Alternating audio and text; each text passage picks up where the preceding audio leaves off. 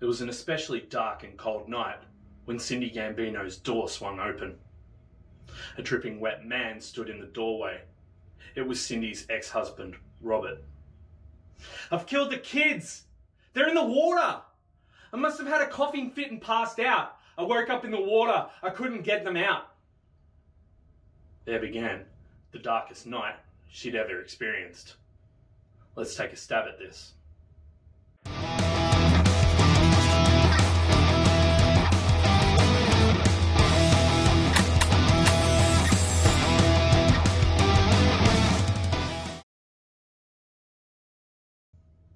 Hi, mates, and welcome to Something About Murder. I'm Jay Something, and every week I report on true crime from here in Australia. If that sounds interesting to you, go ahead and shoot the like button with your trusty boomstick and stab that subscribe button until it bleeds. Make sure you also punch the notification bell in the face so you can get notified every time I release a new video.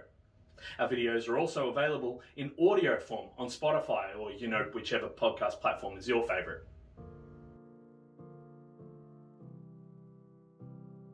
What happened on Father's Day 2005 shocked the entire country. Many people still struggle to comprehend it. Robert Farquharson was born in 1969. He was raised in a small community. As the youngest of four children, he was spoiled by his mother. Being a small, chubby kid with shitty eyesight, he was protected by his older siblings. His overprotective upbringing left him unable to cope with life's highs and lows. Up until he married, he never lived outside his family home and never cooked a meal for himself. From the outside, he seemed like a calm, humble kind of guy, pleasant enough, but on the inside, he was forever frustrated and always reluctant to take on adult responsibilities. For eight years, Robert worked at the Shire of Winchelsea Council before taking on a more senior role at Lidgerwood Seeds. During this time, he was involved with the local footy club. In February 1990, he met Cindy Gambino, a beautiful young lady who was still grieving the loss of her boyfriend who had recently died in a car crash. However, she found comfort in Robert's arms and the two began dating. Four years later, in October 1994, the couple welcomed their first son, Jai. Upon receiving a redundancy package from his employer in 1996, Robert invested in a Jim's Mowing lawn mowing business, which was a failure from the start. The franchise, which was to operate in his local area, cost him around $40,000. He gave up the franchise and found a job as a cleaner at the Cumberland Resort in Lorne, where he worked until 2005. Robert continually dwelled on his anger and frustration after the failure of his lawn mowing business. In his mind, everyone else was at fault except him. He constantly cultivated the image of himself as a victim of circumstance. In July 1998, Robert and Cindy's second son, Tyler, was born. But by the year 2000, Cindy knew deep down there was a problem in her relationship with Robert. Even though he seemed to work hard and was an amiable person, something didn't feel right. Being immature and dependent in terms of all life responsibilities, Robert wasn't the kind of man she wanted. Nevertheless, the couple celebrated the start of a new millennium by marrying each other in August. They lived together in a rented house in the Victorian township of Winchelsea, while their own new home on the other side of town was under construction. In 2002, their third son Bailey was born. However, things had really turned south for Robert and Cindy. Robert's mother Faye had been diagnosed with cancer earlier in the year and had died before Bailey was born.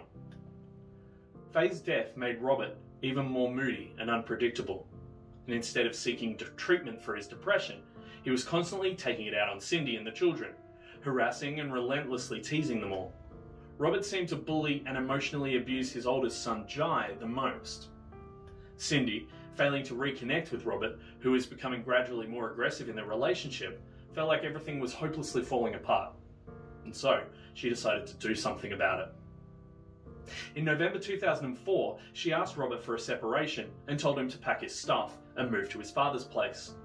Within days, Cindy filed for divorce and went back to her maiden name of Gambino. Robert finally sought treatment with psychologist and psychiatrist in order to cope with the separation and was diagnosed with avoidant personality disorder, as well as depression, and was prescribed Zoloft. Ten months later, whereas Cindy felt happier than she ever was, Robert was still struggling and living at his father's place. Cindy had moved on in her romantic life. She met Stephen Moles, a 38 year old concreting contractor, when he was pouring the slab for her in Robert's home. He quickly caught her attention, and after Cindy and Robert separated, her friendship with Stephen bloomed. Stephen was divorced as well and wanted to focus on providing a secure and stable home life for his own children first. Even though the two remained in separate homes at opposite ends of town, it was a small community where everyone knew everything about each other, and Robert felt betrayed. He hated the fact that Stephen and Cindy were together and constantly talked shit about them or complained that they were probably going to get married. According to his psychologist Peter Pepko, Robert was even planning to verbally provoke Stephen into hitting him so he could have him charged with assault. He made threats towards Stephen and Cindy, saying weird things like, I have contacts, like, don't you underestimate me. On the rare occasions when Robert spent time with his own kids, he told his sons that Cindy loved Stephen's kids more. A few days before Father's Day, Cindy's phone rang. It was Robert, who then endlessly complained about long working hours, the delay in selling the house, having a shit car, and rising child support payments. Hearing his seemingly endless catalogue of woes, she tried to support him and suggested he could look for a cheaper place to live. Concerned, Cindy even told him that she was willing to forget about child support payments if that would help his financial situation because, of course, she felt partially responsible for his current situation. Robert said that he was going to move to Brisbane. Cindy asked him to reconsider that idea. The kids needed their dad. He'd spoken before about going north. That was where his older brother lived. He'd even talked about setting up some sort of business up there. Cindy thought it was all just talk. He'd had a business before, right? And see how well that had gone? Hoping she could give him something to cheer up about, Cindy suggested that he should take the kids out on Father's Day. On Father's Day, Sunday, September 4th, 2005, Cindy arranged everything for her sons to spend the day with their father. It was their first Father's Day since the separation, and as she drove the kids to Roberts, she couldn't shake the feeling that everything was finally settling down after the last turbulent year. Robert was already home from work and was welcomed with gifts from Jai, Tyler, and Bailey at around 3 pm. Tears were welling up in his eyes as he unwrapped a photo of the four of them in a frame. As they sat in his cold and cramped place, which Cindy often referred to as a morgue, two year old Bailey put his hands up to his mum to pick him up. He wanted to go home with her. However, Cindy left them together, asking Robert to have the boys back at her place for 7:30 p.m. She knew Robert wouldn't want to have them overnight, as he never changed Bailey's nappies. Robert took the kids to KFC in the outer suburbs of Geelong for chicken and chips, which was their favourite, and then took the kids to his brother in law's house. At about 7 pm, Robert was heading back to Winchelsea to bring the kids back home. The three boys were strapped in, sitting in the back seat of his white 1989 VN Commodore, after what seemed like a pretty good day. Bailey was asleep. As they sped along the Princes Highway between Geelong and Winchelsea, Another driver, Dawn Waite, came up behind them in her car. In evidence later, she said that the car kept alternating between braking and accelerating, and that the driver, Robert, was continuously looking to the right. As she passed them on the left, they turned right on the road between the lanes of the freeway, around two or three kilometres from Winchelsea. Suddenly, the white car screeched in darkness, broke through a wire fence, headed down a grassy ridge, and crashed spectacularly into the large rectangular dam that lay behind. The full size family car quickly submerged in the dark waters of the dam. Robert managed to get out of the car, but shocked by the collision and panicked, the three boys were unable to free themselves. Robert didn't help them. There wasn't a star in the sky, as the car immediately sank into the freezing waters and disappeared. All three boys drowned silently in the cold night. Robert, of course, survived. As he managed to get out of the water, he climbed unsteadily back up the hill to the freeway. Shane Atkinson was driving with his friend Tony when the car in front of him swerved to avoid something. He then braked hard at the sudden sight of a soaking wet man stepping out in front of his car. Shane had a go at him. What the fuck are you doing standing on the side of the road? Are you trying to kill yourself, mate? Nah, nah, nah. I just killed me kids, Robert responded. Shane was stunned as the man burst into tears as he kept talking about having killed his kids. Robert, drenched with dam water, asked Shane for a smoke, and then asked, Can you take me into Winchelsea? I've got to tell Cindy I've, I've killed the kids. Shane looked into the darkness, wondering if the man was for real. He and Tony offered to go and swim down and get the kids, but Robert said that it was way too late. The kids were already gone. Why didn't they call triple zero? Shane was bewildered as well. Robert refused to call the emergency number after the crash using Shane's mobile phone. Instead, he wanted to personally tell Cindy about what had just happened. Crown Prosecutor Andrew Tinney later stated that after murdering the children, Robert wanted the delicious reward of telling his ex wife about the deaths. Shane Atkinson, however, was convinced that this bloke was having some kind of mental breakdown and decided to take him to wherever the Cindy woman's place was. They arrived at Cindy's house and Robert knocked on the door and entered, telling Cindy what had happened. Cindy screamed and made frantic triple zero calls, as well as ringing Shane and family members. She thumped Robert a bunch of times, pleading with him to tell her where the kids were. Robert stood alone, indifferent to everything that was happening. He told her, They've gone. Shane, who now had worked out that he was for real, drove off to get the police. Cindy ordered Robert into her car and sped off, screaming at him to tell her where they were. He told her they're near the overpass on the freeway. But when they got to the overpass, Robert said they'd gone too far. Cindy jumped out of the car and started running towards the side, trying frantically to find the dam. It was around this time that her boyfriend Stephen found Cindy's car and parked behind it. He saw Cindy running to and fro in the darkness, wailing into her phone to triple zero. The operator had asked Cindy to describe the car or where she was, but Cindy was gripped with panic. She was still on the phone when Stephen ran down the embankment. Robert was standing motionless and silent near the highway. The first words Robert said to Stephen was, Where's your smokes? Stephen couldn't believe his ears. Smokes? He snapped. How could you worry about a smoke at a time like this? Robert's children were in the water. Water nobody could see. In a car nobody could see. Stephen asked Robert where his kids were, and Robert told him that they were in the water. What fucking water?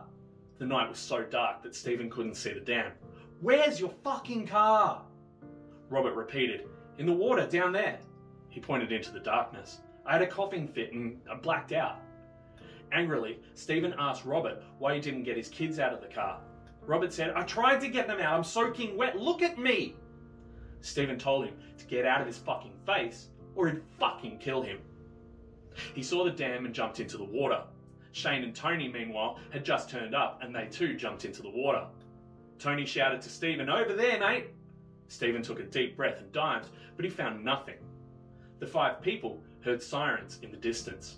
Stephen dived again, and he still found nothing, searching with his hands in the dark, freezing cold water. He dragged himself from the water back to the bank of the dam. Robert was watching silently from the fence. He didn't jump into the water. He didn't offer any help. If Robert was upset, he didn't show it. Stephen asked him again where the car was, and he repeated that he didn't know. Stopping himself from smashing Robert's face in, Stephen headed back to the dam, telling himself to keep going, but also wondering where the emergency services were. The sirens grew louder, and an ambulance and a police vehicle arrived. By this point, it was just after 8 pm. Paramedics immediately told the three men to get out of the water and wrap them in blankets, fearing hypothermia. Frozen and exhausted, Stephen limped towards the embankment. He gestured angrily towards Robert, who still had his arms folded, his chest out, watching.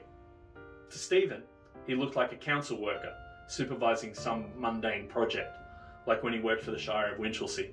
There was no emotion in his face, no pain, no tears, nothing. After a few hours, at about 2 am, the boys' bodies were recovered by police divers. The police officers reported that the three boys did not have their seatbelts on, meaning they had died in panic and fear, all while struggling to get out of the car. The oldest boy, Jai, was found halfway out the car's front door. Kids must have been fucking terrified. The investigators gathered evidence and began their investigation. All the witnesses before and after the incident were interviewed and on 14th of December 2005, three months after the crash, police knocked on the door of Robert Farquharson's father's Winchelsea home. Robert was nowhere to be found. He later turned himself in at the Geelong police station, accompanied by his lawyer. Robert Farquharson was then arrested and charged with three counts of murder. Robert remained in custody until the trial, which began in the Supreme Court of Victoria in late August 2007. During six weeks, a total of 49 witnesses appeared. Cindy couldn't wrap her head around the thought that Robert could deliberately intend to kill their children, saying, I believe with all my heart that this was just an accident and that he would not have hurt a hair on their heads. I don't believe this is murder. One of the prosecution's strongest piece of evidence against Robert was that of Greg King, who retold a conversation he'd had with Robert months before the incident. Outside a fish and chip shop, Robert allegedly mentioned that he was seeking revenge on his ex wife. One of his brightest ideas to do so was to take away the things that mean the most to her. Robert ranted about Cindy taking the newer of the two cars they had and complained about her new relationship with Stephen. Prosecution witness Susan Hattie recounted a conversation with Robert where he said that he was going to take the kids off Cindy. Susan asked whether that meant going for custody. Robert just shrugged his shoulders. Robert's defense to the incident was that in the moments before the accident, he'd had a coughing fit leading him to black out before losing control and crashing into the dam. Prosecutors showed evidence from Shane Atkinson and paramedics that he'd also claimed that he'd done a wheel bearing and that he'd had chest pains. Matthew Naughton, an associate professor and specialist in sleep and respiratory medicine, testified in front of the court that such coughing fit is extremely rare. It's a condition called cough syncope. Generally speaking, the syncope might cause a brief loss of consciousness due to a drop in blood pressure or a decrease in heart rate. It might be caused by the sight of blood and needles, or emotional stress, pain, or, as Robert Farquharson claimed, coughing. Farquharson's thoracic specialist, Chris Steinfort, gave evidence that it was highly likely that Robert really did experience the cough syncope that night, saying it was a classic example. Naughton claimed that it was highly unlikely for Robert to have experienced it in the warm car. During questioning, he couldn't provide a rational explanation for why the submerged car's ignition and headlights had been turned off. Farquharson also couldn't explain how he changed direction three times before crashing into the dam. The owner of the farm where the dam was located admitted that a total of seven vehicles had crashed through his farm fence. However, Robert's car was the only one that actually ended up in the dam. The prosecutors questioned why Robert didn't swim back for the kids. He was 41 years of age, fairly reasonable health. Leaving the kids behind seemed unbelievably cold blooded and devoid of any empathy at all. At least one of them could have been saved. Robert claimed that he got out of the car to go around to the other side to save them, but the water had been too deep. The prosecution didn't have much else to support their claims, apart from Robert's psychological background, the continuous changing of his story, and Greg King's testimony. Robert's friends also had a hard time believing that he was capable of murdering his own kids. Even Cindy supported him. Robert's lawyer called him a simple country bloke who has been stepped on by the world. One day before the verdict, Robert arranged for three red tulips to be laid at his children's grave. And on October 5, 2007, the jury found Robert Farquharson guilty Upon hearing this decision, Cindy broke down in tears and her mother collapsed on the floor. Robert Farquharson was sentenced to three terms of life imprisonment without parole. He immediately announced that he would appeal the conviction. In 2009, his conviction was unanimously overturned by three appeal judges who criticised the trial judge, the prosecution, and Greg King's evidence. They ordered a retrial. On May 4, 2010, the retrial before Justice Lex Lasry QC began.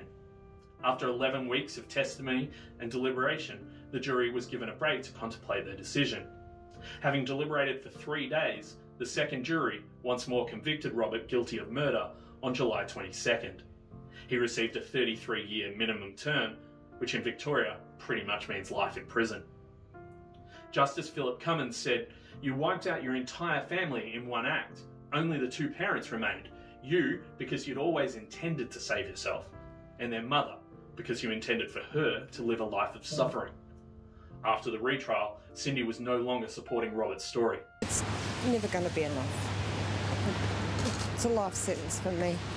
It should be a life sentence for him. Robert attempted twice more to appeal the conviction in 2012 and in 2013. However, both appeals were rejected. In court for one of these appeals, Robert turned up on crutches. Supposedly, another severe coughing fit had caused him to fall off his chair and break his leg. he acted out the infamous coughing fit scene a few more times throughout these appeal dates. Of course, he never blacked out. Cindy Gambino and Stephen Moles eventually got married. In 2015, Cindy successfully lobbied the Victorian Supreme Court for compensation from Farquharson for his horrific act against their three children. The amount was kept confidential, but it was thought to be in the amount of $300,000. Of course, no amount of money would ever be enough to cover the pain of losing Jai, Tyler, and Bailey in 2005. Sadly, Cindy Gambino died suddenly in May 2022 after suffering a medical episode at home. Her devastated family called her a warrior for justice. She was 50 years old.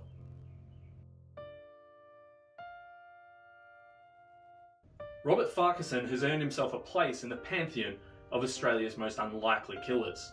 The quiet, short, stocky man painted himself as one of life's losers. He played the wronged husband card. He made people feel sorry for him, and ultimately, he made people believe him incapable of murder. Since the trial, he's now seen rightfully as a cold hearted bastard who willfully escaped his drowning car without even attempting to save his own sons. Many people have to deal with the unbearable pain involved in separating from a partner who wants to start a new life without them. When kids are involved, it's even more difficult to manage your emotions in front of them and keep them out of the arguments. Robert Farquharson, instead of trying to manage his emotions, comforted himself with resentment. He turned his attention away from the pain caused by feeling abandoned and instead devised a devastating plan of revenge. Robert Farquharson is currently serving a 33 year sentence in Barwon Prison, 40 minutes up the road from Winchelsea. He will be eligible for parole in 2039. On the freeway next to the dam where he cruelly took the lives of Jai, Tyler, and Bailey, there's a shrine to the three boys.